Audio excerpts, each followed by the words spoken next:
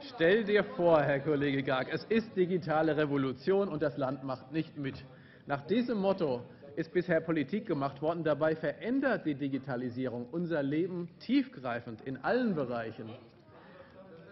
Sei es bei der Gesundheit, sei es bei der Bildung, sei es bei der Mobilität, sei es bei der Demokratie.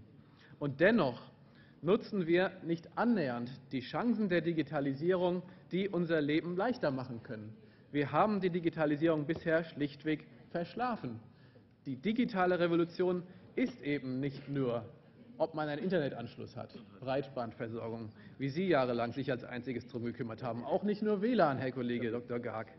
Es, Digitalisierung ist nicht nur fehlgeschlagene Großprojekte wie COPERS oder E-Beihilfe, sondern wenn man die digitale Revolution gestalten will, braucht man einen Kompass, der die Richtung zeigt, in die die Bewegung die die Entwicklung bewegt werden soll. Und wir Piraten haben einen solchen Kompass. Wir wollen, dass im Mittelpunkt der digitalen Revolution der Mensch steht, der Mensch und seine grundlegenden Rechte zu wissen, Zugang zu haben, selbst bestimmen zu können über seine Daten und mitbestimmen zu können an den Projekten dieser Gesellschaft. Das ist unser digitaler Kompass.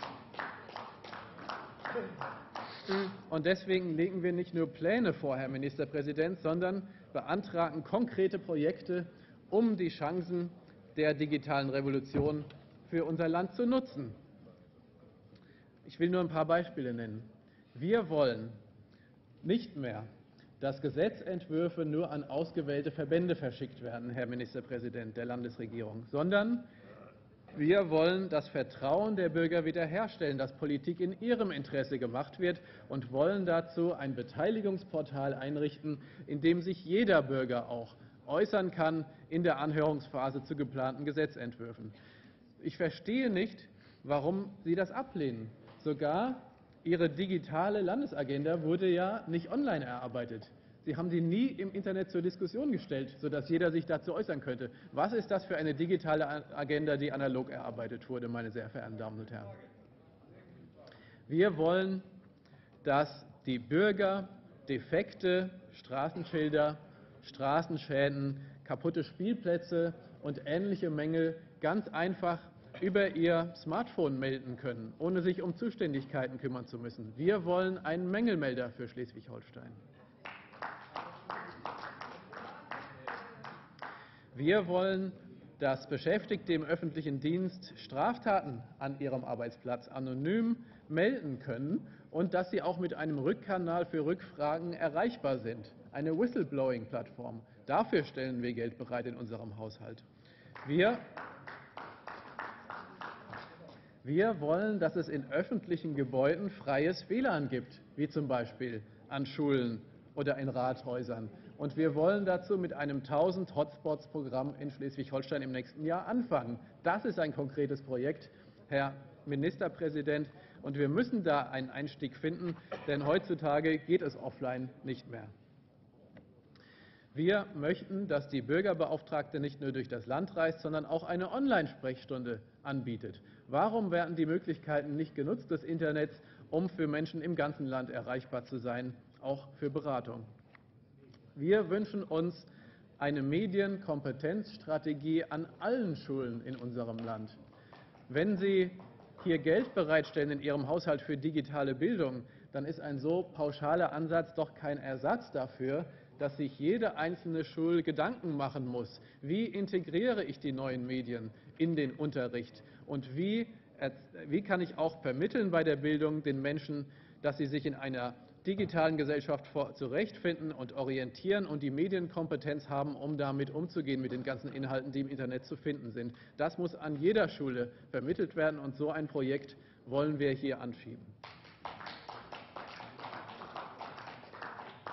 Wir wollen, dass schnelles Internet an allen Schulen früher kommt als die Landesregierung. Deswegen wollen wir 4,5 Millionen Euro extra reinstecken in diesen Bereich. Wir wollen die digitale Revolution in die Klassenzimmer in Schleswig-Holstein bringen, sehr verehrte Damen und Herren.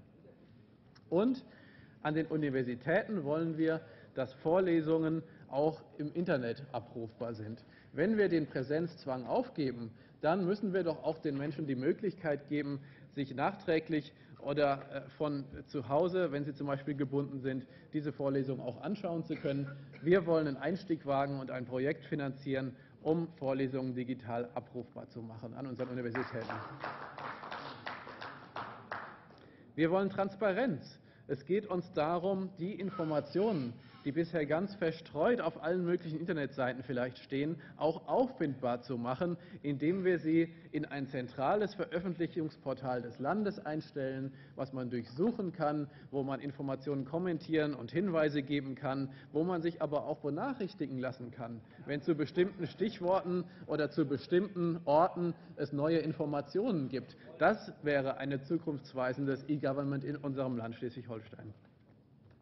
Und wir wollen, dass digitale Rathäuser gefördert werden, in dem Sinne, dass den Kommunen ein Angebot gemacht wird, ein fertiges Angebot. Wenn ihr Behördengänge digitalisiert anbieten wollt, dann könnt ihr auf ein standardisiertes Angebot zurückgreifen, was das Land in Zusammenarbeit mit den Kommunen entwickeln soll.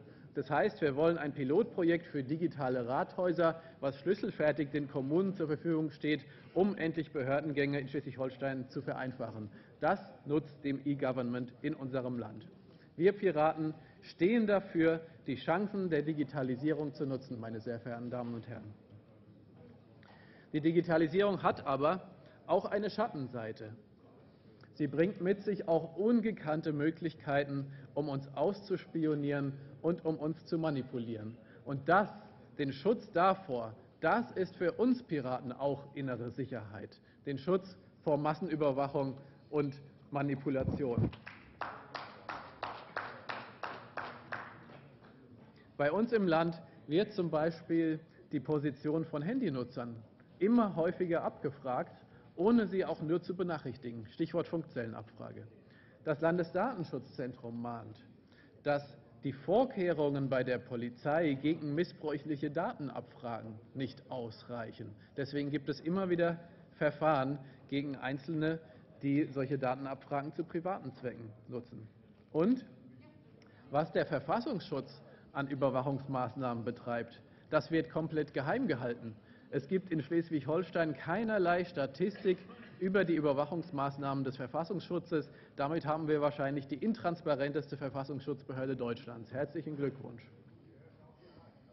Dieses Land hat im Bundesrat dem Zwangseinbau von Smart Mietern zugestimmt im Zuge des neuen Gesetzes zur Digitalisierung der Energiewende. Das bedeutet, dass in Zukunft ablesbar sein wird aus den Verbrauchsdaten jedes Haushaltes, wann wir zu Hause gewesen sind, wie viele Menschen zu Hause gewesen sind, unsere Lebensgewohnheiten, vielleicht sogar welche Geräte wir wann benutzt haben. Das ist eine unglaubliche Gefahr für die Privatsphäre und für die Vertraulichkeit unseres Verhaltens in den eigenen vier Wänden. Und wir Piraten wollen diesen Gefahren der Digitalisierung endlich etwas entgegensetzen, meine sehr verehrten Damen und Herren.